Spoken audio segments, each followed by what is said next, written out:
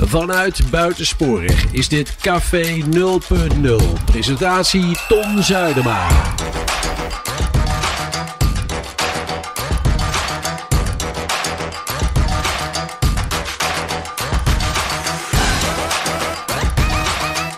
Welkom bij een nieuwe uitzending van Café 0.0 vanuit Buitensporig, het café-restaurant met misschien wel het mooiste terras van Tiel. Het is prachtig weer en aangeschoven zijn drie mensen van de Verfclub. Ik zeg het een beetje oneerbiedig, de Schildersclub. De Betuwse Verfstreken. We hebben um, uh, Corrie Henning, Ernst de Krieger en Eve uh, van Toren. Welkom alle drie. Dankjewel. Uh, jullie hebben prachtig werk al meegebracht, daar gaan we het zo dadelijk even over hebben. Wat ik even wil weten, Corrie, vraag ik even van jou. Um, die schildersclub, de Betuwse Verstreken. Uh, nog niet zoveel van gehoord. Ik heb jullie gezien, uh, althans een paar van jullie, op de kunstmarkt in Buren. Dat was ja. erg gezellig, ook mooi weer. Maar um, wie zijn jullie eigenlijk? Nou, wij zijn eigenlijk een hele kleine groep. Uh, ongeveer een man. We zijn begonnen met acht mensen. Mm -hmm. Allemaal enthousiastelingen. En we wilden gewoon samen schilderen om van elkaar te leren. En dat is uh, eigenlijk heel goed gegaan. Ja. Hè? Zo van uh, dan die erbij, dan die erbij. En dan zijn we met acht mensen. Nu zijn het er nog zes over. Uh, zes mensen die zij hebben een eigen stijl. En, en jullie werken vooral, wat ik hier zie staan, is schilderwerk. Dus allemaal in olieverf. Olieverf. Maar er staan ook ruimtelijke voorwerpen. Is ja, dat brons? Naast, uh, naast het schilderen zijn we ook uh, bronswerken gaan doen. Mm -hmm. En ik doe dat dan vaak in combinatie met een schilderij. Maar je kunt ook wat, er wat Eve bijvoorbeeld doet en wat jij doet. Gewoon apart uh, zelf een bronsbeeld maken zonder de combi met de schilderij te leggen. Ja. En ja, dat is eigenlijk als, als doel hebben wij om met elkaar plezier te hebben en ja, elkaar ja. te leren. Um, van als ik vragen heb, van hoe doe ik die kleur, ik krijg hem niet te pakken, dan uh, wordt het eigenlijk binnen de groep gewoon opgelost. Ja, ja want je zit waarschijnlijk dicht bij elkaar, Ernst. Uh, ja. Uh, je, op, op spreekafstand, je bent met je eigen ding bezig, dat, is, dat kost natuurlijk al concentratie, maar en op een gegeven moment gaat er iets mis. En dan? Nee, dat klopt. We hebben de cluster van een aantal tafels bij elkaar, een stuk of vier van die grote, die grote tafels. Dus we zitten daar rondomheen. Mm -hmm. En dat betekent ook dat iedereen direct elkaar in de ogen kan kijken als er wat problemen zijn. Ja, ja. En ook, gewild of ongewild, worden er wel vragen of ja. antwoorden gegeven. Maar is het een cursus? Nee, hè? Nee, nee, het is absoluut geen cursus. Dat wil ik wel eventjes benadrukken. Wij zijn geen lesgevende mensen. Wij zijn mm -hmm. Uh, audiodidact. Wij zijn zelflerend. Wij proberen het op allerlei manieren van Corrie of van Eve of net wat. Het commentaar wat we krijgen, dat maakt ons op een hoger plan. Mm, okay. Daarmee, dat betekent ook dat we dus best hele mooie dingen maken. Mm -hmm. Ook verkopen daarbij. Dus het is een bijkomende zaak om een beetje de boel te kunnen bekostigen. Want het is ja, verf kopen en kwasten en het is allemaal duur. Dus we zijn ook heel erg blij met, met hetgene waar we dan ook zitten. Ja. En het is dan ook een, een, een locatie die gegund wordt. Want voorheen zaten we op een locatie, dan moesten we dus elke maand geld betalen. Mhm. Mm -hmm. Ja, het zijn allemaal AOW'ers. Waar vinden we jullie nu? Sorry? Waar vinden we jullie nu? Waar vinden we we vinden nu bij Smit Plastic. Mhm. Mm -hmm. uh, dat is een spuitgietbedrijf. Uh, dat is uh, mijn broer. Hm. Bij, kom, bij Komst Geluk. en die heeft gezegd van, van jullie zijn op zoek naar een ruimte. Nou, je mag bij mij, kom bij mij. Want ja, ik, ik hou van kunst. Ik vind kunst prachtig. En je kunt ook je spullen laten staan waarschijnlijk. En we kunnen, ja precies, het is een, een, een ruimte waar we kunnen zeggen van die benutten wij -hmm. en door niemand anders. Dus we kunnen okay. dus echt die spullen laten staan, de schilderijen laten staan. Mm. Willen we daar wat anders doen, ook mogelijk. Daar houden we ook dus de exposities. Dus dan wordt dus in een weekend wordt dus de, de benedenverdieping weer omgebouwd. -hmm. En dat wordt dan naar een expositieruimte. Daar, daar, daar komen okay, we zo op. Okay. Ik wil even tussendoor. Uh, ja. Eve, uh, ik kwam jou tegen en Corrie, heel veel mensen op de kunstmarkt in Buren. Ja. Uh, dat, het was niet zo druk, maar er was wel een sfeertje. Ja. Heel veel disciplines, heel veel verschillende kunstenaars, kunstenaressen. Ja. ontzettend veel te zien. Dus het is eigenlijk één grote wervelende winkel, kun je zeggen, van, van kunstvoorwerpen. Ehm, krijg je dan reacties op wat je maakt? Ja, mensen. uiteraard. Ja, er zijn mensen die, uh, die het mooi vinden en die blijven staan. En ja, die gaan ja. vragen stellen over, over wat, je, wat je schildert. En de mensen die het niet mooi vonden, ja, die lopen dus... Die lopen uh, door. nou, nou gebeuren vaak twee dingen. Hè. Mensen staan, maken een praatje, zijn geïnteresseerd, willen misschien iets kopen. Mm. Zijn er dan ook mensen die zeggen van, goh, eh, hoe, hoe doe je dit? Eh, waar leer ik dat? Eh, die zijn Ja. dan meer geïnteresseerd in de Ja, dat zijn, er zijn een hele hoop mensen die ook komen kijken en die zelf ook dus schilderen. Mhm. En die hebben dus inderdaad wel wat vragen over Ja. van, hoe- doe je dit en de, de opstelling en alles. Ja. Oké, oké, ja, mooi. Ehm nou, Corrie, je zei net al, het, het doel is gewoon lekker bezig zijn en van elkaar te leren. En eh, eh, het knappe daarvan vind ik wel dat je in verschillende disciplines dus bezig Ja. kunt zijn.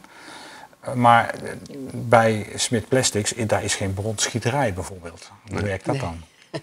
We hebben opgezocht eh, wie er zou zijn. Nou, en toevallig zit er eentje in Tiel. Mhm. Dat is Stijlaard. En daar laten we onze beelden gieten. En eh, ja, dat kost alleen wat tijd. En dat kost geld. Ja, dat maar- zijn, eh, brons is een eh, Vrij kostbaar. vrij kostbare eh, hobby. Ja, ja. Je hebt dan- achter mij, de camera zal dat zo laten zien, wat dingen staan. Nou zie ik bij jou een, een, een kunstwerk, een, een ruimtelijk voorwerp van brons. En daarnaast een schilderij met dezelfde beeldenis daarop. Ja. Kun je iets, iets vertellen waarom doe je dat? Ehm, ik hou van fantasie. Dus ik begin altijd eerst met het schilderij. En dan ehm, ik ben gek op bollen. Dus er staat altijd iets van een bol op. Eh, maar dat schilderij, ja, het is een open jurk. Dat ontstaat gewoon. Ik, eh, ik kijk wat ik mooi vind. De kleur eh, laat ik ontwikkelen. Ja. En daar heb ik dus dan daarna ook het beeld op gemaakt. En ook in de groene kleur weergegeven. Ja. Oké.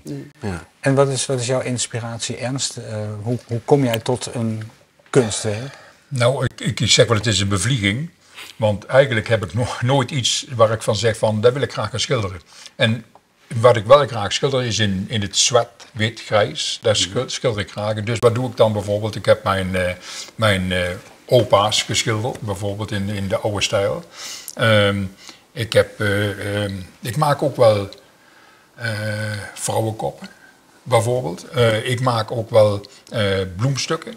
Maar ik heb eigenlijk geen vast eh wat Corrie heeft. Corrie, als je Corrie ziet, heb je echt Corrie.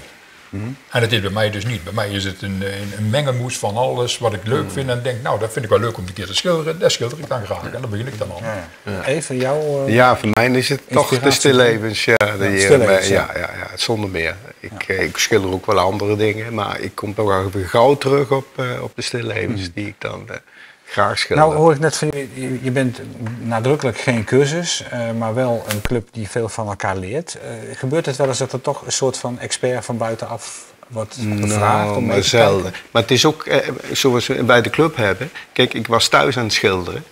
En als je een paar jaar alleen op je, op je slaapkamertje staat te schilderen, dan wil je ook eens een keer met iemand anders een keer Mhm. Ja, ja, ja. schilderen. En, maar we hebben eigenlijk van buitenaf nooit, eh, nooit iemand gehad. En eh, eh, betalen jullie lidmaatschap? Hoe werkt dat? Kunnen mensen lid worden?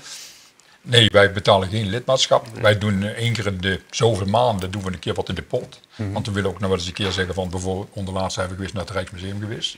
Nou, zijn we weer eens kijken naar Vermeer, want Vermeer had daar een grote tentoonstelling. Nou, dat vinden we dan mooi om te gaan kijken, want nu heb je al die werken bij elkaar. Die was ook prachtig. Ja. Precies, dus dat was prachtig om te zien. Dus daar willen we dan graag naartoe. Mhm. Dus dan doen we allemaal een zet in die pot en dan gaan we met ons, ons, ons allen die kant op. Of we zijn een keer naar Talens geweest, de verffabriek. Ja, te kijken hoe het In gemaakt Apeldoorn, wordt, om te kijken hoe wordt nou verf Ja. gemaakt. Wat is nou precies verf? Wat, wat, wat kunnen we er zelf mee? Ja. Dus daar proberen we wel wat meer Verdieping inhoud te geven aan, aan hetgene wat Ja. we doen zijn. Ja. Ja. de club. Stel dat nou de- de- deze opname mensen inspireert tot, eh, tot langskomen. Een keertje kijken, kan dat? Ja, dat mag altijd. Ja. ja, altijd welkom. Ja. Op de, eh, wat was het ook weer, de, woensdag- Amperestraat nummer 10. Woensdagmorgen. Op de woensdagochtend. Op woensdagochtend De woensdagochtend, ja, precies. Ja.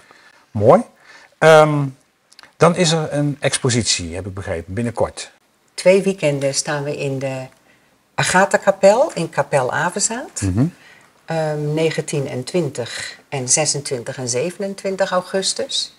Eh, ook van 11 tot 5.